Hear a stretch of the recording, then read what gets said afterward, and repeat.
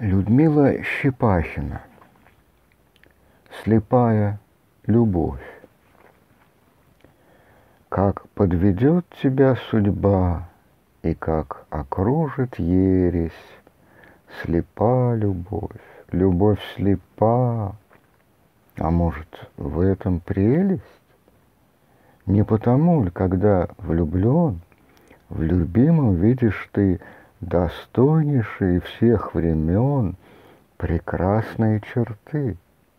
Не потому ли, в конце концов, сквозь вихрь дневного гуда в тебе живет его лицо, как ожидание чуда? А может, твой любимый плут, предавший дух и тело, и голубые очи лгут легко и оголтело? В любви он, может, ищет благ, прикрывшись ей, как робой. А может, просто он дурак? Ну, разберись, попробуй.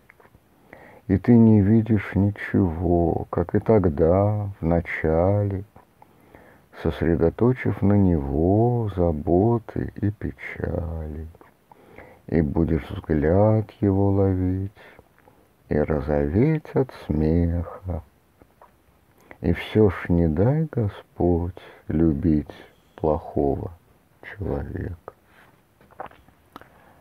Людмила Щепахина, женщина. Ах, что вы делаете, женщины, и по каким таким причинам самоотверженно и жертвенно вы угождаете мужчинам? Зачем от них вы так зависите? Зачем вы им на шею виснете? Зачем обиды им прощаете и все на свете упрощаете? Мне ваша доброта не нравится. Она как ноша на горбу. И ваше вечное неравенство, не перешедшее в борьбу. Опомнитесь, скорее опомнитесь. И так потери велики. Бегите от уютных комнат, от уютов комнатных и магазинных волокит. Я предрекаю вам заранее, придет к непризнанным признание. Мужайтесь, женщины, мужайтесь, себя свободой окружайте, решайте – ведь еще не поздно, ведь мир не домик из слюды. О, женщины, хватайте звезды и перепутайте следы, и совершенством поражайте, и смейтесь, и детей рожайте. Но только упаси вас, Боже, бездарно вылезать из кожи, в глаза заглядывать мужчинам, как самым крупным величинам.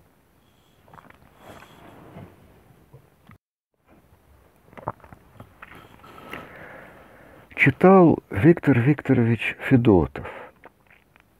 Эти стихи я нашел, разбирая бумаги своей мамы. Про нее я сделал целый видеосюжет, назвав его «Вот какая мама». Теперь первая мысль была, что такие строки легко послушать в интернете. Но мысль эта оказалась наивной. Зато э, с радостью узнал, что еще здравствует поэтесса автор стихов, э, будучи моложе моей мамы на несколько лет. Рядом с этими э, э, листками в архиве есть э, стихи иных советских поэтов, в том числе ушедших и не представленных в интернете.